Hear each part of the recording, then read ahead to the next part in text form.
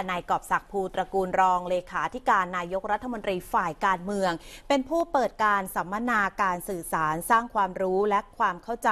เรื่องกฎหมายรัฐบาลดิจิทัล โดยมั่นใจนะคะว่ากฎหมายดังกล่าว จะเป็นนกลไกสำคัญให้เกิดความเชื่อมโยงข้อมูลของหน่วยงานราชการ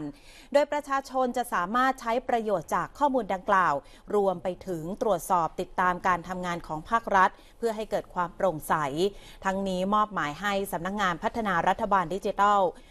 อำนวยความสะดวกประชาชนในการเข้าถึงข้อมูลของภาครัฐ ผ่านรูปแบบดิจิทัล รวมทั้งเพื่อเพิ่มช่องทาง การใช้เอกสารรูปแบบอิเล็กทรอนิกส์ เพื่อลดความยุ่งยากในการเดินทางมาติดต่อราชการ ซึ่งจะทำให้การติดต่อราชการกับภาครัฐ สามารถดำเนินการผ่านโทรศัพท์มือถือได้ ในลักษณะเดียวกับ mobile banking ที่สามารถดูข้อมูลส่วนบุคคล และขอต่อใบอนุญาต โดยไม่ต้องเดินทางมาติดต่อราชการ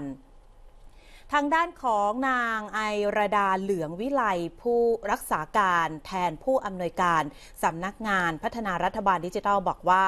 การพัฒนาระบบ Biz Portal หรือว่าการทำเรื่องราชการผ่านระบบออนไลน์ จะสามารถให้บริการออกหนังสือรับรองใบอนุญาต และเอกสารต่างๆ เพิ่มเติมเป็น 25 ธุรกิจ 70 ใบอนุญาตภายในเดือนตุลาคมนี้ จากปัจจุบันสามารถขอใบอนุญาตแบบเป็ดเสร็จณจุดเดียว ได้ 10 ธุรกิจ40 ใบอนุญาต